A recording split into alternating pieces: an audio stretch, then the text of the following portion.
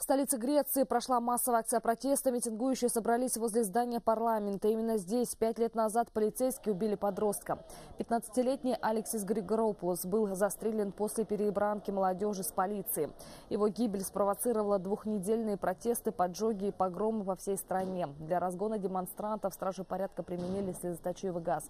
Аналогичная акция проходила и в городе Салоники. По данным властей, в протестах приняли участие около 800 митингующих.